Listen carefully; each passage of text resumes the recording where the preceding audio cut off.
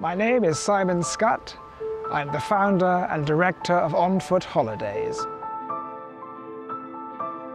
Dorset is an area we know and love, and it's right here on our doorstep, and we wanted to share it with walkers from all over the world. The landscape is deeply rooted in history. Quintessential England, with rolling hills, curious cattle, villages with thatched houses, lovely pubs, and views to die for. My name's Harriet and I am the local contact for the Dorset Walk. Dorset is a great walk for first-time walkers. It has this very, very quite profound beauty. And it's not dramatic or loud, but it's very, very memorable.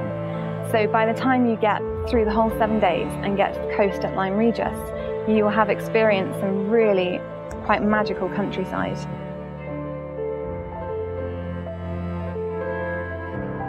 There's a lot to see in Salisbury. It's a medieval city and that's reflected almost everywhere you look. Of course, it has the world famous cathedral. You can actually go right up the spire and do a tower tour. We highly recommend that. You've got Stonehenge. And the main highlight of Salisbury is you can come see us. So come into our office, we'll give you a cup of tea and talk about the route and any questions you might have. The walk goes through a lot of places that Hardy himself would have actually gone through. So it's not a stretch of the imagination to think that we are literally in Hardy's footsteps. We stay at a little place called Evershot. So there's a wonderful inn there called the Acorn, although Hardy called it the Sow and Acorn. Um, and he used to drink there himself. The pub's still the same. It's got wonderful food.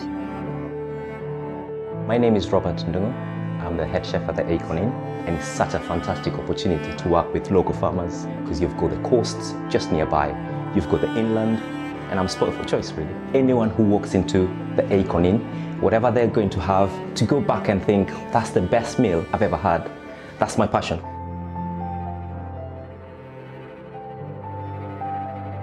The countryside has changed so little over the years that it makes a great location for adaptations of Hardy novels, including Mapperton House, where Far From the Madding Crowd was filmed in 2015.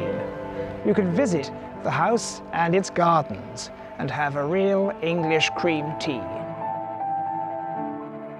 As you pass by on the walk, you can visit the ruins of Wardour Castle, so nearly destroyed during the Civil War.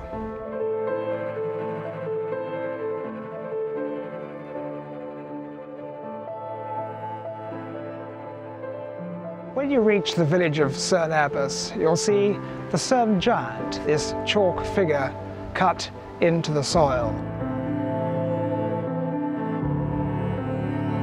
The Jurassic Coast, there's 185 million years worth of geological history here, and you might even find a fossil or two.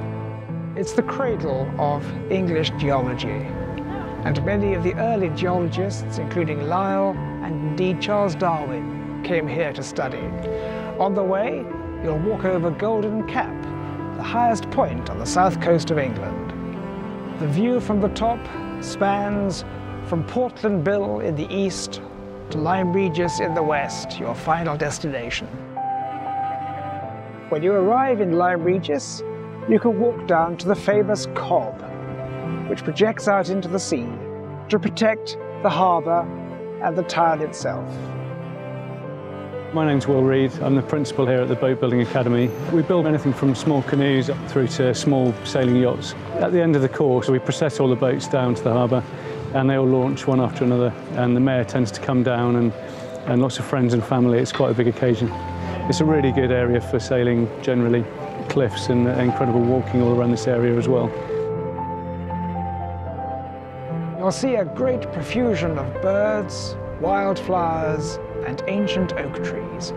And at the end of each walking day is a little town or village to savour and a great place to stay. This is your chance to experience rural England at its most authentic.